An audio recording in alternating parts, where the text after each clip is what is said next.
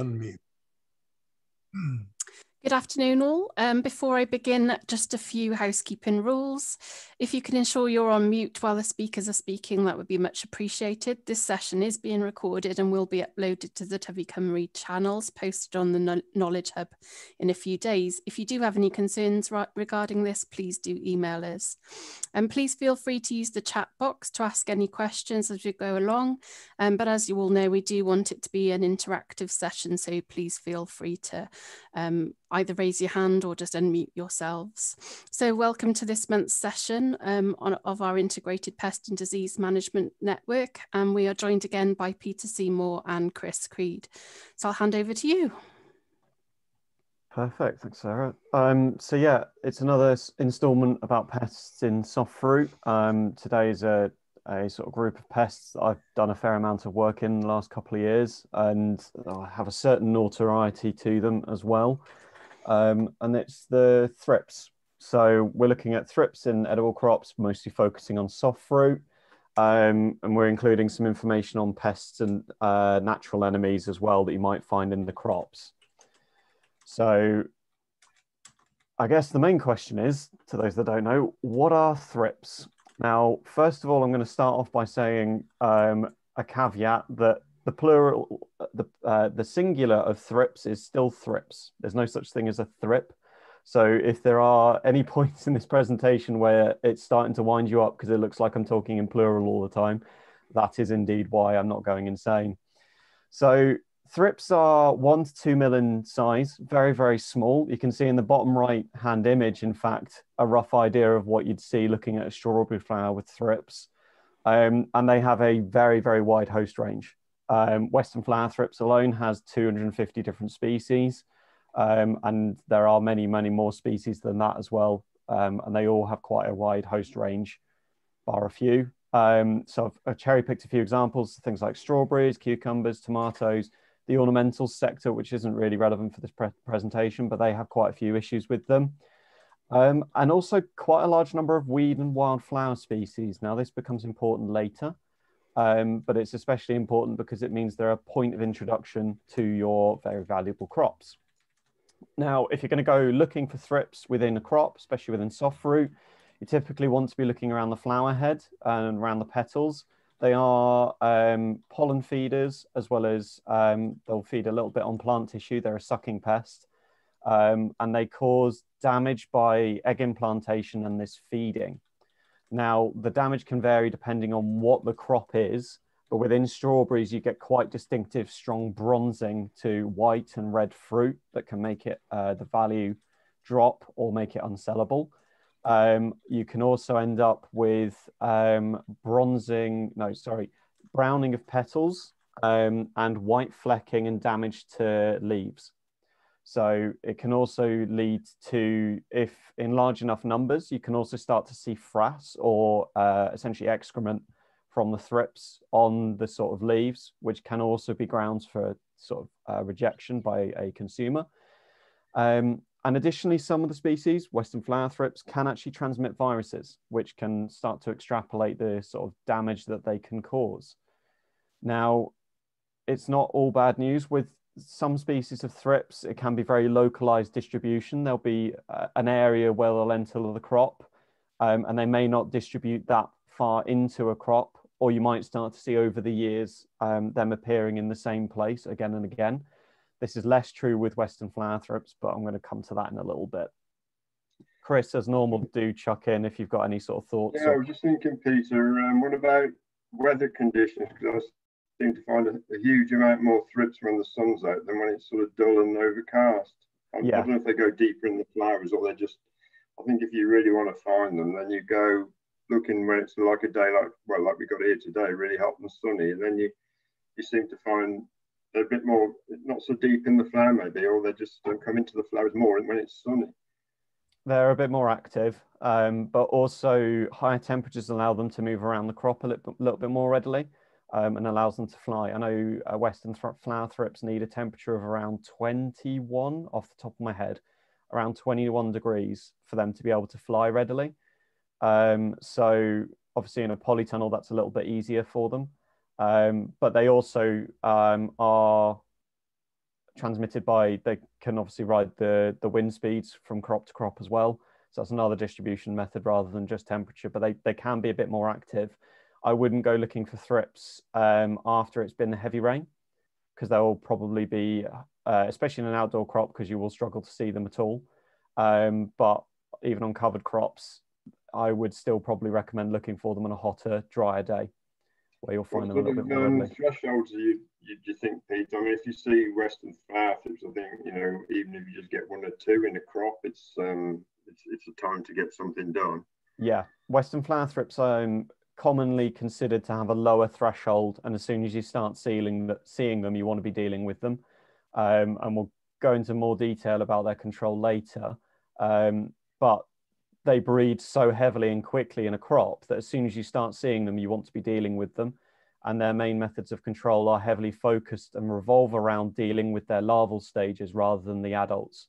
So if you start getting very, very large adult populations, they can be very, very difficult to deal with.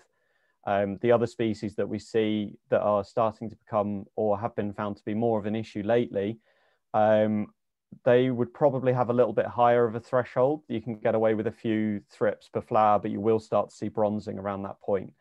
Um, there's a large debate about whether um, cultivar or variety of um, plant species will affect the level of damage. Um, the jury's still out there. I know a couple of our colleagues have said that um, some cultivars, if they've got higher upward facing flowers, um, they're considered more attractive to thrips. Um, but you, and then you get some that say that there are some cultivars that are resistant to damage, but we've never really been able to do a study into it. Um, and it's a lot of mixed opinions on it.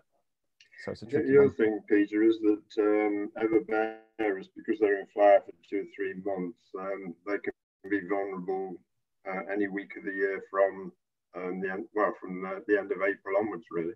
Yeah, yeah. So they they can be at risk for a long period of time, and, and the species that build up over a long uh, that build up very quickly in the crop, like Western flower thrips, are going to be more of a danger to um, the longer standing crops as they start to build up I've seen Western flower thrips uh, really start to develop sort of uncontrollably before in sort of August time, where it's just starting to steamroller away a little bit more than the control, um, especially as it has in many areas been found to have uh, insecticide resistance.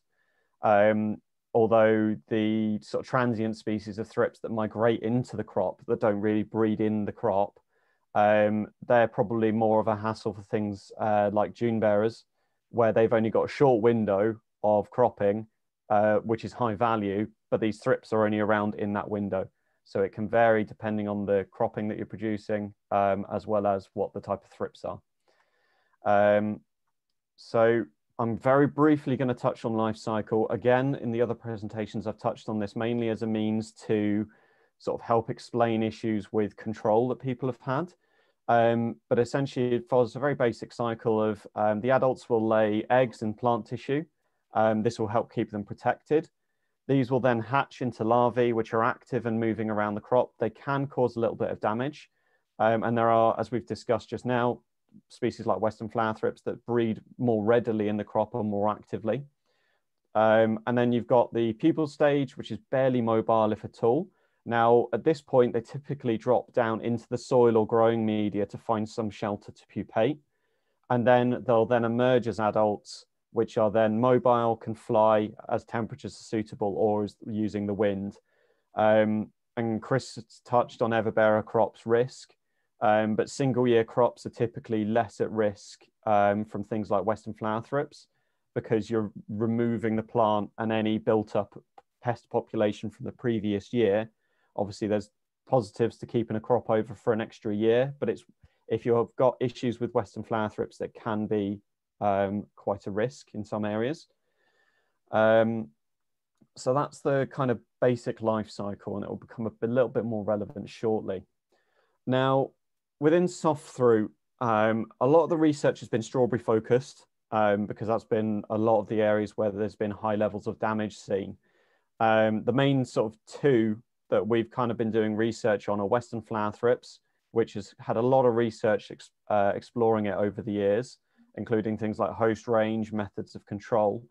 Um, but in recent years, there's been other species like rose thrips, rubus thrips, all these other species that have been attributed to also causing damage in the crop. And we know there are a lot more knowledge gaps involved with these species. Um, so we've got those five spe uh, six species on the top that we either know for sure or believe strongly that cause damage in crops, and they vary in um, the numbers seen. And they're often um, seen as a species mix, so it's less clear cut where you'll see just western flower thrips or just rose thrips. You'll often see a little bit of a mix, but sometimes with a dominant species present. Um, but again, not all bad news. There are some species of thrips that we see in crops that aren't necessarily damaging them, or in the case of the Aeolothrips, the predatory species, um, are actively help combat other thrips species and they'll feed on thrips larvae. Um, we don't believe that they feed on thrips adults. Um, and then there's also the cereal thrips. Um, now there's a few species of those and you'll typically find them come in when arable crops nearby, if there are arable crops near to your, um, your horticultural crops, have been harvested, um, and or areas of grassland and things like that where they've been using that they've been using as a host range. Now, we haven't found any sort of attributed damage to that, but it does mean that you might see high numbers of thrips at times, but less bronzing um, or less damage to the crop. And that would probably be explained as the cereal thrips. So about um, ID then, Peter? Obviously, those two pictures you got there on the screen. Sorry, the previous slide. Yeah. And they're more or less identical, aren't they? I mean, don't you have to get under a microscope to get a tell WFT from rose thrips and things? Yep, I've got a couple of slides in a little bit touching on that because there's a few methods which oh, you can okay. use. Um, but microscope is best. Um, so that's a bit more of an in-depth image of cereal and predatory thrips predatory thrips, which you can actually see with a hand lens or in the flowers, you can see these zebra banded wings that you can see just here.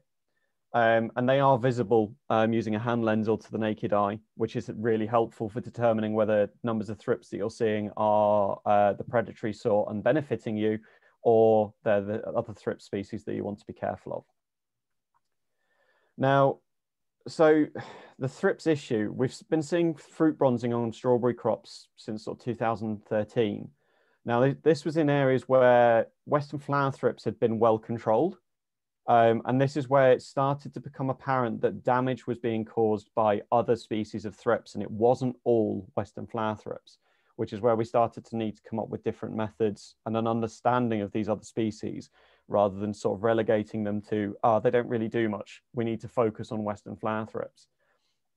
So we were speaking. Um, that's a really good picture, that Peter, because it, it shows you that thrippy flower and it shows yeah. early bronzing on the fruit. So, so if, you, if you've seen symptoms like that, especially on indoor crops where they don't get battered from the weather, you'll see those um, flowers, and those are the ones to tap out on your hand for the thrips. And if you're seeing that damage, I don't think much else causes that other than thrips.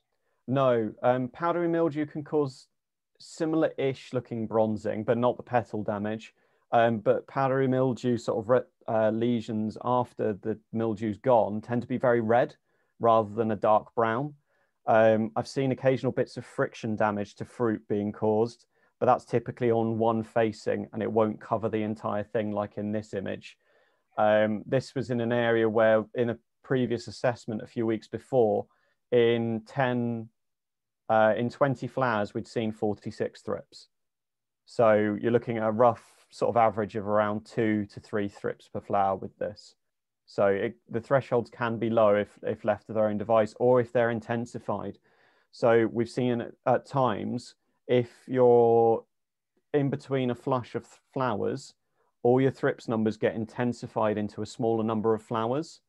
Um, rather than say if you've got five flowers per plant, you've got a much wider range of um, a much wider range of selection for these thrips to go in. So those 46 thrips might have distributed themselves into, say, 60 flowers instead. And then at that point, your threshold's lower.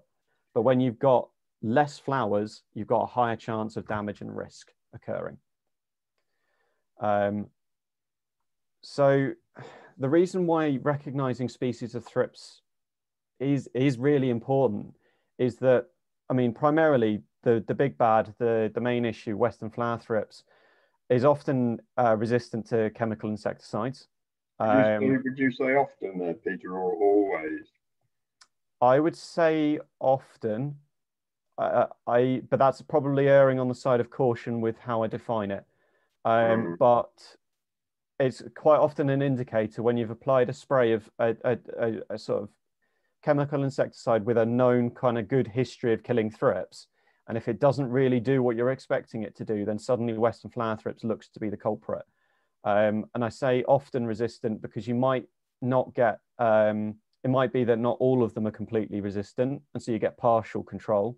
But I wouldn't, if you've got Western flower thrips, I would be very quickly not looking to use your limited reserves of chemical insecticides in trying to deal with it because it, you're then losing them for other pests as well. Um, and there are, for Western flower thrips, thankfully, some very, very good biological controls in dealing with them. However, that relies on a number of things, which I'll start to go into a bit more later. And that's where the second point that IPM measures are species dependent. Um, a lot of these transient species of thrips that we're discussing um, just before that come into the crop later on in waves, best to, to, to the best of our knowledge, we don't think they're breeding in the crop.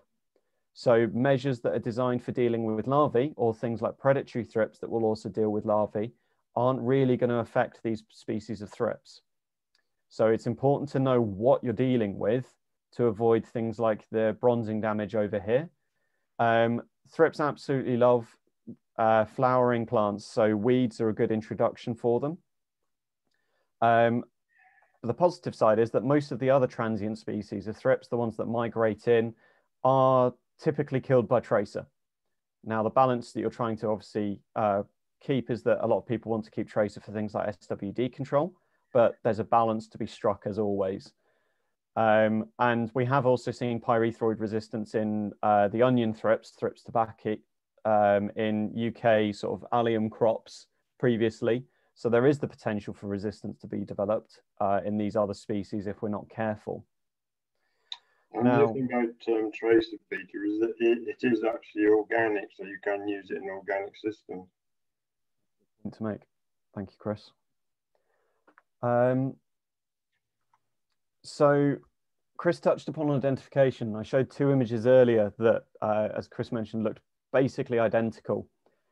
Getting 100% confirmation of a, uh, of a species can only really be done under a high power microscope. You've, as you can see from the image, you've got a thrips there that's one to two mil in size, and you've got a few of the different features there in images, and that splits between two species. It's the length of some hairs and the abundance or absence of some a couple of pores. There's not a chance that you will be able to see that with a hand lens, funnily enough. Um, so things like the number of antennal segments, hair behind the eyes, number of hairs on wings, all that kind of thing are the things you really need to be doing to identify what the actual species is truly. Um, and that's typically done through lab analysis and sending a sample off. Um, there are, we have done a workshop in the past for the HDB, which was looking at using um, just uh, agronomy methods for determining um, species difference in a crop. Um, I've given a very, very abridged version here, which is using color. Now, it's a very potential indicator. I can't stress that enough. Typically, the more yellowy brown kind of species are things like Western flower thrips or the flower thrips, which is very similar to Western flower thrips, or the onion thrips. They're typically a little bit paler or lighter, but that does depend on diet, temperature, a whole variety of other factors. So it's not it's not conclusive by any stretch. Um, but if you're trying to get an idea, um, or if you've got species that are dark brown, they're typically going to be things like the rubus thrips, the rose thrips, which are looking more like this image here. And then you've got the even slightly larger thrips, which are also very, very dark, where you've got the predatory and the cereal thrips.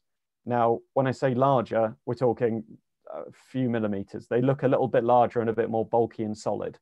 Um, but you're not looking at any kind of really obvious or distinct differences. This is more to try and give you a means for a gut reaction early in the season to then help try and inform IPM. Now, when we start straying into methods of control, you've got a variety of biological controls. Um, so again, I keep, I'm like a broken record with this, but it is very species dependent. So you've got um, the predatory mite, Neoseiulus cucumeris, or often known and still marketed as Amblyseius cucumeris. Now that's a predatory mite, um, available quite, uh, I'd say relatively cheaply, Chris. You can generally get it in the crop in quite a large uh, number. Yes, um, I think it's um, if you if you've got everbearers, you typically typically be putting on 25 uh, mites per plant per fortnight, and that you know that that you, you you're treating about uh, four plants for a penny. Yeah, so you can get that in fairly cheaply and quite early as well. Um, you can start as soon as it starts flowering, you can start getting the uh, ambly uh, in the crop. Um, unfortunately, main limitation, it only feeds on thrips larvae. Um, to the best of what we can really determine. It may occasionally have a pop at an adult, but you're not getting any kind of steady means of control there. Um, so with that, you need to be very, very mindful of that life cycle, which I mentioned earlier. If you've got species that breed in the crop, then, then things like Amblyseius is very, very useful. And that's why it's pr primarily used for dealing with Western flower thrips in a very preventative manner from as soon as the season really starts. Because if you can keep on top of Western flower thrips and their larvae um, levels using things like Ambly, then you will have a lot less problems later on. However, if they've built up to be in high numbers of larvae per plant, then things like ambly, you'll need to really have them at very high levels in order to get the control you need. And that's going to be very difficult and take time. Um, there's another species that was formerly known as Hypoaspis mars. Now, this feeds on larvae and pupae, um, but that's within the soil uh, or growing media. So that, that has a sort of different uh, sort of area that it's mostly predating in. Um, and then you've got the generalist Orius laevigatus. Now that's commercially available and it does feed on larvae and adults. So this is one of the main biological controls being used for, against things like the rose thrips that are migrating into the crop that don't seem to be breeding in any large levels at all.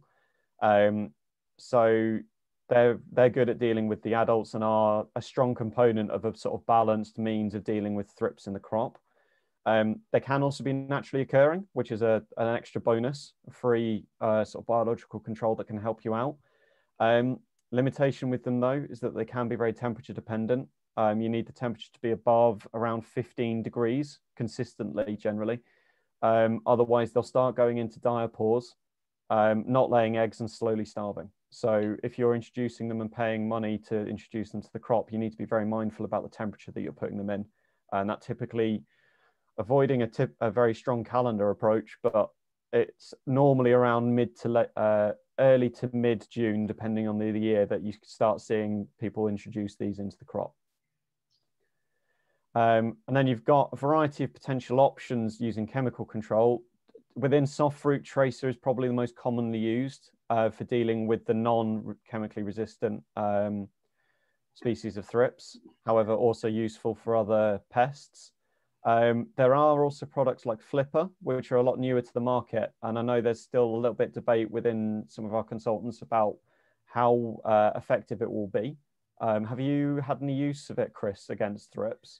Yeah, I'm seeing it used a lot against aphid. Um, I couldn't comment on um, what it's like on thrips, but um, you know, it's um, it's useful to have anything you know that you can try. But if you do use Flipper, you've got to make sure you stick to the label and you do you know, it's got to go in soft water, etc. And um, you need to get, you know, really good coverage. It's not too bad getting coverage on flowers. It's much harder getting coverage on leaf backs, but um, you know, it's um, it's all there is. Um, the other thing uh, about these plant protection products is if you um, start using chemical pesticides on resistant um, populations, then you actually make it worse because you, you're wiping out what predators there are. So you've got to be really careful before you make a choice of going down the chemical route. If you think you've got Western flower thrips, then just give up on it and go straight onto IPDM and using your um, introduced predators.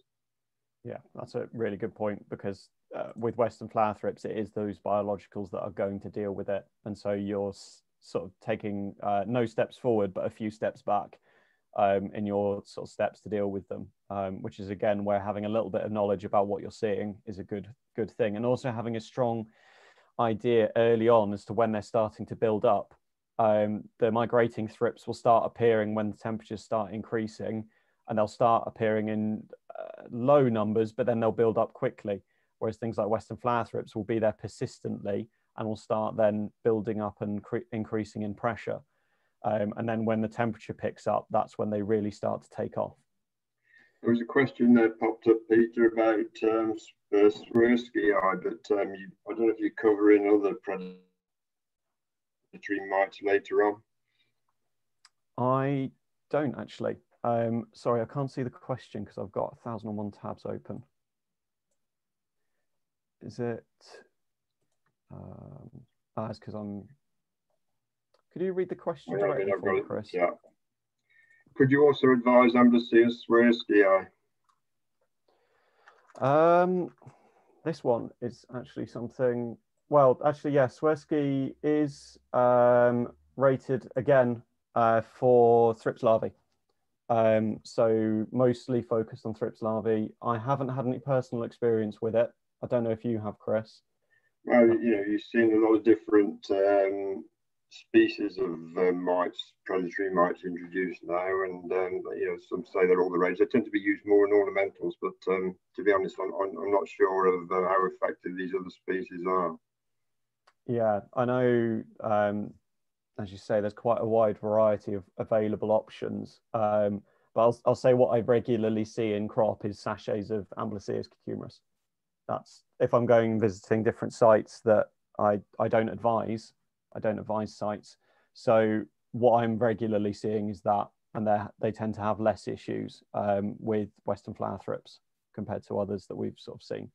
So I think it's a, a cautious, um, it could work out but equally there are some strong options already available. Um, okay, I'll move that tab back. So that brings us on to detecting when thrips are appearing. Now, you've got two main methods for generally telling when thrips are appearing in the crops. Now, the first one, which I think is probably the best overall, is flower inspections. So it's best to be checking the flowers regularly as soon as they start opening. Um, the open flowers visually and uh, attract the thrips, um, and they can, depending on the species, start laying eggs in the crop. Um, you, when you're monitoring the flowers, you want to be picking upward facing flowers. Imagine if the thrips are flying over, that upward facing flower with all those white petals is a much stronger visual cue than one that's just kind of face down underneath a few leaves. So when you're using those to, to do inspections, you're best off picking those upward facing ones and you want to be picking slightly sort of middle-aged flowers with shed pollen, a bit darker brown, um, because if they're bright orange pollen, um, they're typically not going to have been open for as long, and there's less likely um, thrips in there, which can give you an artificial idea that thrips numbers are lower than they actually are. So selection of flowers can be very important for working out what, what the numbers of flowers, uh, what the number of thrips are within the crop. It's also a good opportunity to check for beneficials, things like orius, which you can see, as well as um, are the predatory thrips that we see, see as well. So it gives you a good idea about what's going on there. Um, there's the other option, which is also using traps, so colored sticky traps best mounted above the crop. You can use a post like in the image um, using a green cane and elastic band. Um, typically aiming for about 10 centimeters above the crop is a good idea, which you can then check regularly. Color wise, you typically want to be picking uh, blue for thrips because um, that's the, the best attracting color for Western flower thrips. And also we've done a little bit of pre preliminary testing um, with previous IPM uh, soft fruit projects um, where we did a little bit of water trapping using different colored water traps. And we were finding um, more of those other species in the blue traps compared to, say, the yellow. Um, yellow is typically used for monitoring other different species. Um, so the thing with using traps is that they're not going to give you a stronger idea about numbers in the crop. It can be a quick and easy way to look and see whether thrips are present, but they're not going to give you a good idea of relative numbers per flower. So if you're going to use the traps, you do also want to be supplementing it with flower inspections because it's a less fine-tuned method, but it can be a quick little check, especially early on in the season to sort of determine that, yeah, I'm starting to see thrips now, essentially. Um, and it can start being used into a larger scale. So things like mass monitoring using large roller traps down the edge of a crop um, can be useful for method uh, monitoring on mass, and it also does remove quite a large number of thrips. Now, again, color selection is important. I know that there is one product on the market that uses patterned versions to increase the attractants um, of those colored traps. And then you can start combining it with things like semiochemicals. So Western flower thrips has a sex pheromone that's uh, used to lure in more Western flower thrips. And there has been a number of projects on um, looking into using uh, mass monitoring and these kind of trapping methods for dealing with Western flower thrips as an alternative to just relying on biological controls. Um, we're also doing a little bit of testing in another a new soft fruit project where we are um, using uh, these sticky traps and a generalized attractant called Lurem, which is supplied by Koppert, and a generalized repellent, which is Magipal supplied by Russell IPM. And that's looking into the idea of a push-pull system um, so that we have repellents within the crop and attractants near to those traps to try and pull the thrips away from the crop. Um, and we're still very much in the early stages of that, but I thought it'd be good to note that that's something we're looking into and hoping that it's an alternative, especially if the current trend of losing chemical options starts uh, continuing as well. Um, now, with traps and these kind of systems, getting as close to the crop as possible is uh, really quite important. You want that visual lure or cue to be as strong as possible. Um, and I know it's slightly easier in um, soil-based crops rather than tabletop to get them closer. In fact, you can have them almost above the crop um, which increases the sort of efficacy of them. Whereas obviously when you're looking at tabletop crops in like in the image, you've got situations where it's not quite at the crop level. So it's just something to consider. Now I'm going to go into a few sort of naturally occurring beneficials. Now these are, it's not no, uh, a completely extensive list, to be honest, because as we've seen, um, and we've had discussion about various um, biological controls that you can introduce. Um, a lot of those biological controls are just artificially reared natural predators that we have that you can find. However, when you're starting to want to get them at certain levels in order to deal with things regularly and in a manner that you can then quantify, use not relying on naturally occurring sort of beneficials can be very helpful. Um, but here's a few examples that I've picked that I've been uh, finding a little bit more. Um, so you've got things like Aeolothrips, the predatory thrips with those banded wings that you can see there. Um, now they do occur and they do start, I've been seeing them in the last few weeks as I've been in strawberry crops um, and they'll deal with thrips larvae as well, um, which is useful. Hoverfly larvae, just like in this image, I'm starting to see a lot more hoverfly. Now those guys will deal with aphids and I've touched on that a few times already with the aphid presentation we've done.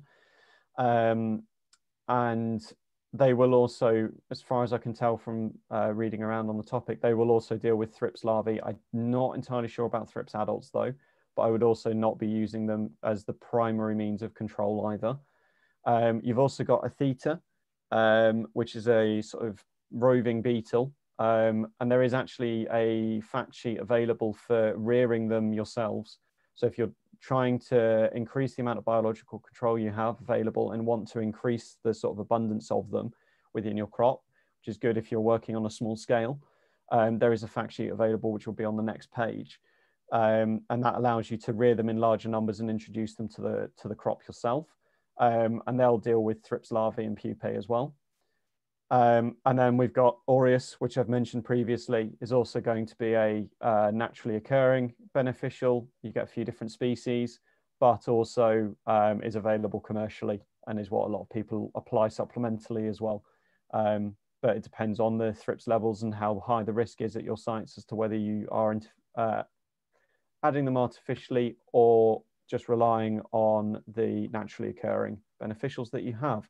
And obviously, having scope and an understanding of how these nat- these naturally occurring beneficials are within your crop can also help um, dictate what sort of products and means of control you're going to use.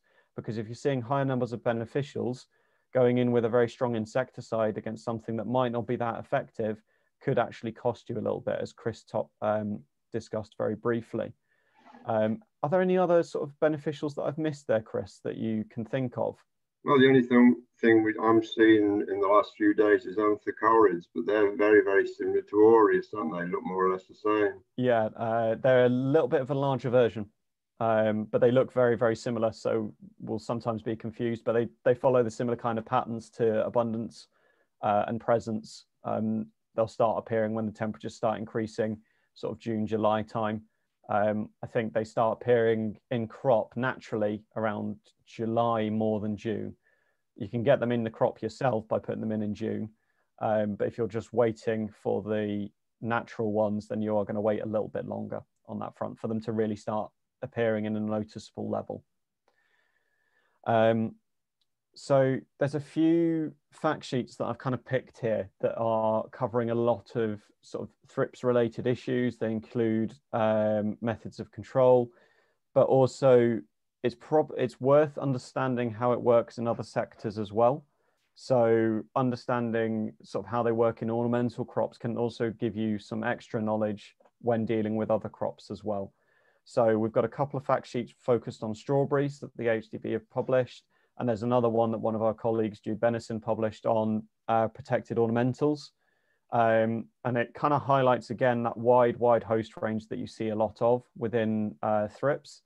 Um, and then there's also the um, the fact sheet, which is on the rearing of the Atheta, the predatory beetle, which can be used if you're looking at supplementing beetles um, in your own time, but then saving money as an, another alternative.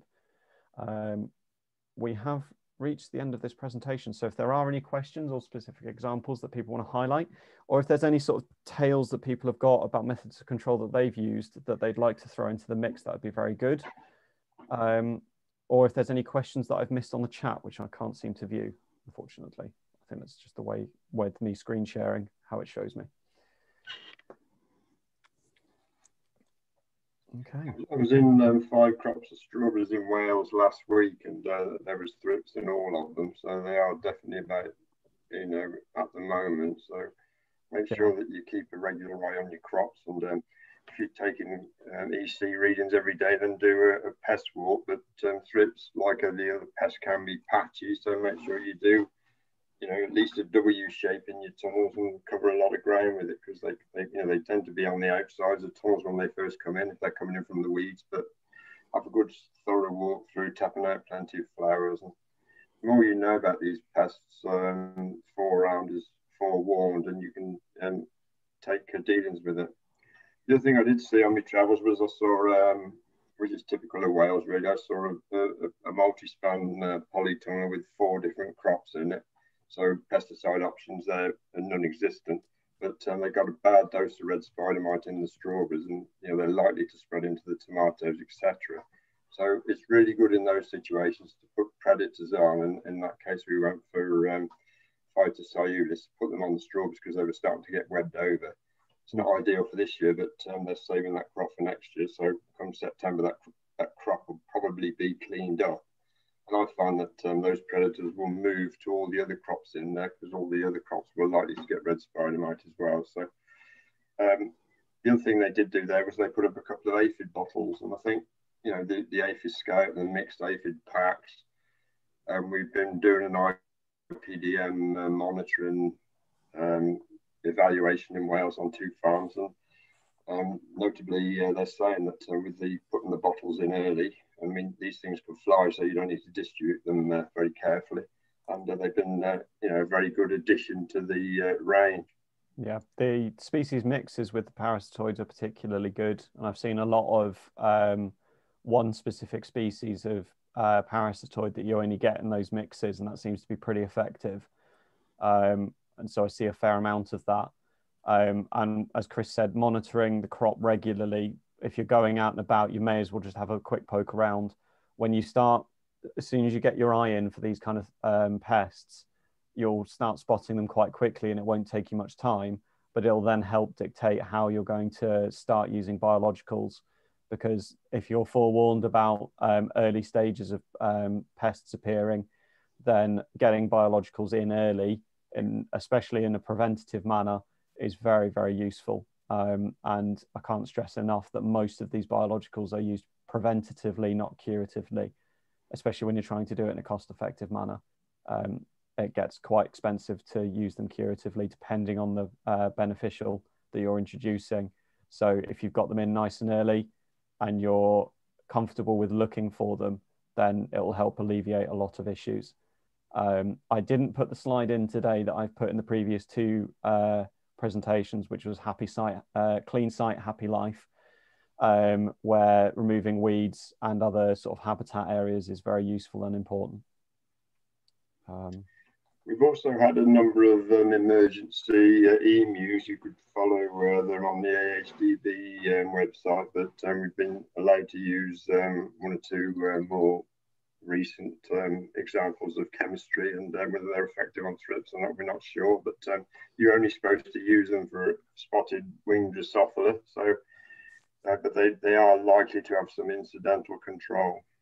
Yeah and it, it's still in the early days of determining whether the use uh, the loss of calypso, which was typically applied for um, things like strawberry blossom weevil and things like encapsids, the loss of that is likely to have a knock-on effect with thrips numbers as well. And I wouldn't be surprised if we start to see slightly higher levels of some of the species than we've previously seen, because calypso has often been applied at around the sort of time of year where these migratory thrips will start coming in.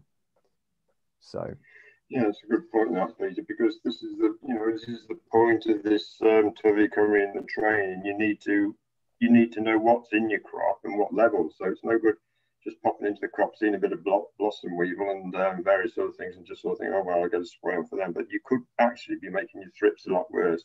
Blossom weevil will, will knock out you know some flowers, but uh, with thrips you can lose a whole lot. So it's just um, you know keeping the context of the level of the infestation really, and that's it was quite hard to learn. But um, you know, we've seen a fair few pictures of slides, but more or less all thrips are bad, like all aphids are bad. And um, the, the, big decision then is what action you do take. And it's a bit like SWD, you know, if that comes in about now or a bit later, then, you know, you've got to be able to take decisions on it and act on it. Yeah. And it's it's one of those issues as well that pests will vary very heavily dependent on the local area. They'll depend on the local uh, sort of biological geography, other woodlands, hedgerows, that sort of thing, areas or points of intrusion for your crops. So understanding general, having a good understanding of trends year on year can also help you.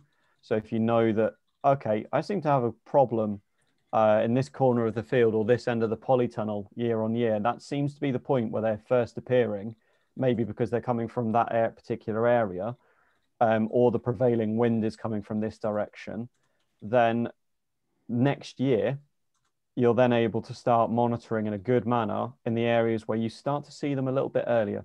So having an idea of keeping sort of notes or a log of where you're starting to see things and when can be very, very beneficial year on year. And you can start building up a good core understanding of how things are at a site um, or at your site. I've had a few instances where I've looked at Google images of sites and started to kind of get a mental idea of where maybe I'd start looking for things like thrips. But no, local knowledge is better. And it will give you, if you're able to keep a solid understanding of what's going on, then it will benefit you quite a lot over, over the years as things develop.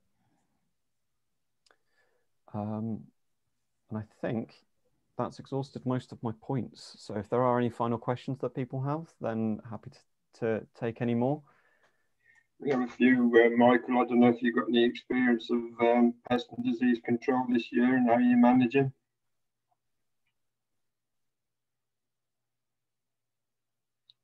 Mr. Newton? Unmute. And unmute. And I, I didn't actually catch that the question was levelled at me. um, just um, any any local experience. I mean, you've got um, several crops. Well, um, you're doing a 60 day program. You've got lots of flowers appearing. 60 day tend to flower over a very short time, so they're very vulnerable. So you need to be in them all the time. How, how are you finding it? Well, we did put insecticide on after your visit, and we've looked closely again today, and there are still a few thrips around. Um, that's on the first flowering crop. the ones that are just coming into flower, uh, I'm struggling to find anything at the moment, but we're watching them very closely. So you, you you had some some success with that insecticide? Well, I'm hoping so, but there certainly aren't as many coming onto our hands now as there were when you were with us the other day. yeah, I didn't think they were Western flower thrips, so you might have some success with tracer, but um, you know it's worth um, definitely worth the try on that crop. And if you reach the point where you do want to send samples in, hesitant to be discussing it, but we do we do a lab analysis as well as part of ADAS. That is an option that we can discuss if you just want to get in contact with Chris or myself, um, depending on how things go. Um, but it's good. To, it's good that there's examples where thrips are being dealt with, um, and as Chris said, there's some pests where which will be more panic-inducing than others, and having an understanding of what's the big risk for you is also very useful. The other thing that uh, Peter mentioned was Atheta, and I think if you're on this uh, situation where you've got tunnels with mixed crops in and ornamentals and uh, edible crops, etc., or propagation houses or permanent structures, the theta is a very useful resource. And um, if you get the fact sheet and rear a few and get them going in there, then they, they sort of, I think they're mainly ground based, aren't they, Peter? And they, they, they look out all the thrips pupa and the thrips pupa drop to the ground mostly. And, um, you know, they are quite vulnerable when they hatch out on the ground. Yeah. And also, actually, thinking about that point, um, we there's a general idea that tabletops will be a little bit better at dealing with pupae. Um, because if they drop to the ground on a leaf that's over the edge of the tabletop, they'll just drop straight to the ground, um, which means they're probably in grass or whatever you've got underneath the tabletops. Um, whereas the other um, whereas in soil-based crops, they can just drop straight into the, the soil, find a good pupation spot. So it's something to consider there as well is the method that you're growing a lot of the crops. Um, it's interesting, Chris, that you've got experience with crops, multi-cropping within a polytunnel. Um, and at that point, you want to be using sort of generalized predators that will cover a wide range of things, um, a wide range of pests. Um, because as you say, chemical options are very, very limited unless you're going around with a knapsack.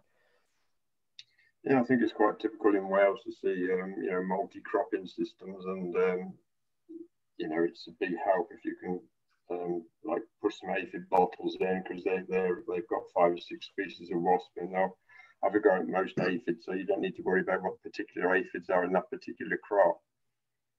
So I think it's uh, you know quite encouraging that um, as we get to understand IPDM on mixed systems, it's um, certainly working out well. Hmm. I, I, did I, I did put in Amblyseius cucumeris, uh, the mighty mite, and uh, Hypoaspis miles in about sort of May time because I noticed there was a little bit of damage on on, um, some of the uh, plugs that I was about to pot, mm. and hmm. that that seems to have really helped. It's a good point as well, Andrew, about checking plugs and plants as they come in. Um, you having a good inspection when plants come onto your site is very helpful um, and it also means that you get an early indication or also an indication if you want to be having a word with the propagator about things that have come in um, so in, in this case i was the propagator as well. In that case no comment.